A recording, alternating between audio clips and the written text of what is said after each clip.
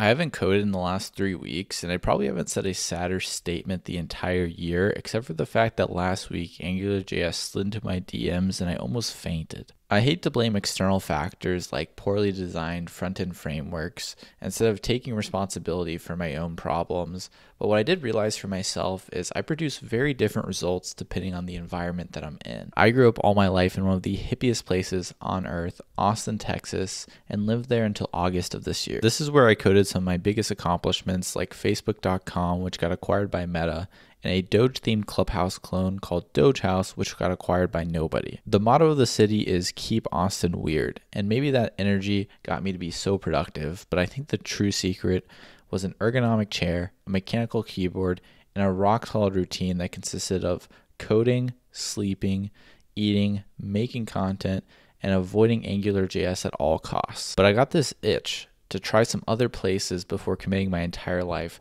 to Austin. So while everyone was moving there, I decided to leave. I stuck my ergonomic chair in my car and drove to my first destination, Scottsdale, Arizona, where I stayed for a month.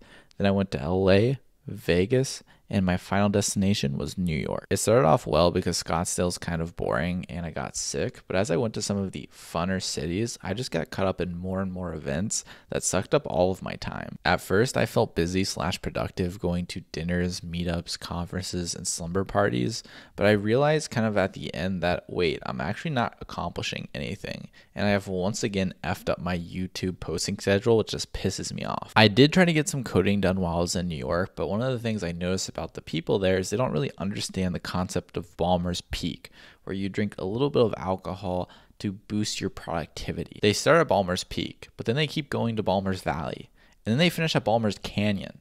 And Ballmer's not producing a single line of code there. They visit Ballmer's Canyon like it's their favorite vacation spot, and their company gave them unlimited vacation, and they didn't realize that that really only translates to like three weeks a year if they're lucky. I personally wasn't built to have a morning commute where you scale the side of a canyon to get to work, but I do enjoy making TikToks, so you kind of have to pick your poison. My original plan to start accomplishing things again was to stay in New York, hermit in my room, say no to absolutely everything, and start producing stuff again. The only problem with fun cities is they're an expensive SaaS subscription, not only for your wallet, but the entire energy of the city just wants you to do things all the time.